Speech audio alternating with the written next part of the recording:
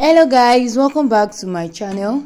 In today's edition i will be giving a review on vintage design different style made with vintage fabric. Stay tuned.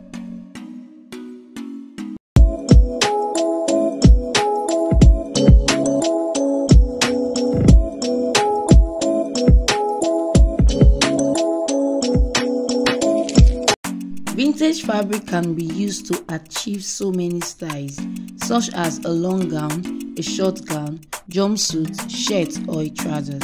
Although they are plainly designed vintage fabric.